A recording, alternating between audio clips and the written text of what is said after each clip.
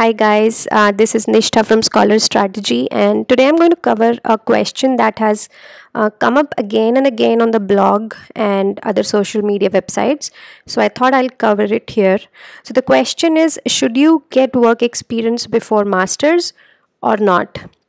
So this is uh, relevant especially for freshers who are determining whether they should join the job uh, industry, work a bit before going for masters. Also relevant for people like you know with um, let's say three or four years of work experience. Uh, should they continue working uh, or go for MS? Right. So I have thought about it a lot, and the reason it comes it the question props up again and again is frankly because there is no black and white answer, right? So let's look at how can we really understand what's going on here. So I would say first of all understand what are the pros and cons of getting some work experience. So if you have work experience, uh, even if it's one year, maybe two year is kind of ideal. Uh, more than two year, I don't think it's required, uh, especially for non-management oriented kind of jobs. So if you're going for masters in CS, electrical engineering and all, I think 2 years is is what you're looking for as an ideal work experience if you think about it.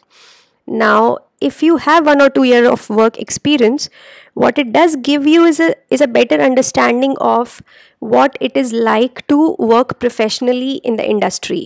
You will better understand what the job role entails, what is it like to work in the real world, what are the pros and cons, and whether particularly this is the area that you actually want to continue your career in or not. So, a work experience person has a better perspective because he has seen both the sides. Uh, the downside is like the fresher doesn't really know. Like he might be thinking that software engineering or uh, or he wants to be a data scientist or some other job, but he doesn't really know what it involves. So that is the first advantage if people have work experience. They understand what it is like on both the sides and whether they want to continue in that stream or they actually are using masters to either switch gears or advance their levels because they are committed to that area so that understanding will better come if you have worked in industry for at least one year uh, what is uh, another side another important um, thing of uh, for work experience people is i think when companies are coming for internship uh, in grad school they do prefer people with a little work experience. I'm not saying that will reflect in the salaries or other stuff but it might give them a slight edge over freshers because the company knows that yes you have worked in a professional environment and you know what it takes. Um, also in these internship interviews in the job interviews if you have work experience then that gives you additional stories to talk about. You can talk about situations in which you handled a particular challenge related to your field. You can uh, talk about like you know how you uh, handled uh, a production release or what was it like to work directly with clients? What would what was it like to meet the deadlines uh, so like you know someone might know how to build a python application how to build a web application but they may not know that what are actually the server issues what is the load issue um, what kind of things matter more to the client and stuff like that. So if you have work experience you have better stories to share in the interview. So that i feel is another advantage for work experience people. Now what are the downsides? The obviously the downside is the time right? So you are spending that time in uh, wherever you are before masters. And hopefully like after masters you can get like you know much better jobs. So you are kind of investing this time in preparation for something uh, on the other hand, fresher is saving time in the sense that they're going for masters directly and then they can get into a better job right after that. Obviously, given the financial repercussions, the difference in salaries in developing countries and US and all, it makes financial sense as well. So now the question is what should you do, right? So it's very individual to you and you have to really understand what what what is right for you. If you feel you're not prepared enough, uh, first of all if you're not sure that you want to do masters then i would say work a year and then figure out. If you're happy in the industry right away then continue working until you feel the need to go for the masters. Uh, but if you're not sure like if you if you think like you know you can get more knowledge and then try to get into a better company then masters might be a, a good way.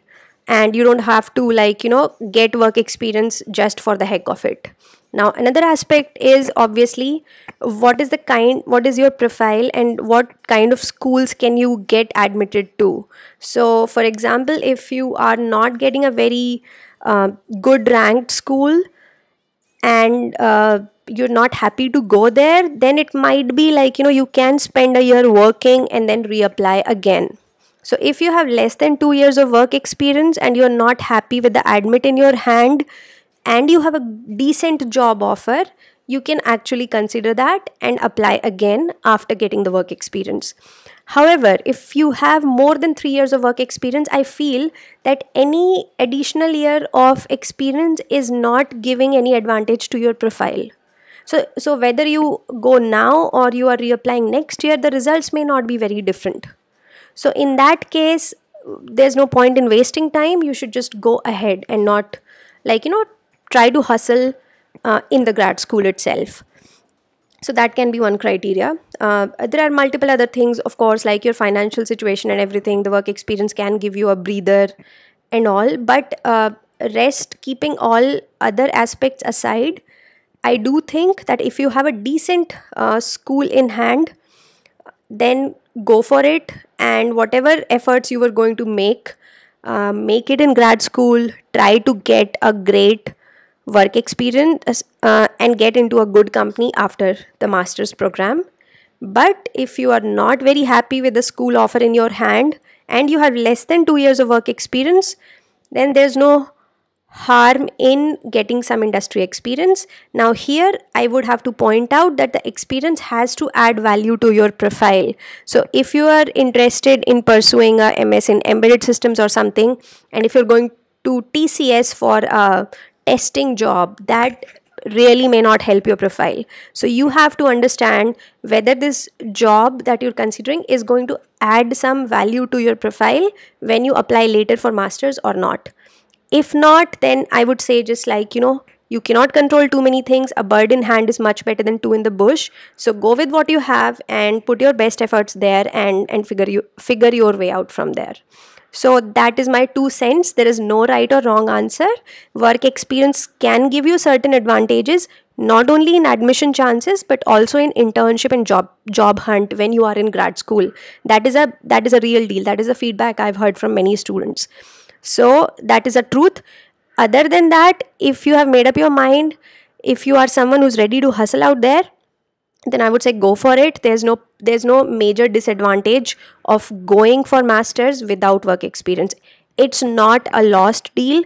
Uh, i've seen many success uh, many freshers doing great uh, after masters and uh, not having work experience did not really impede them whatsoever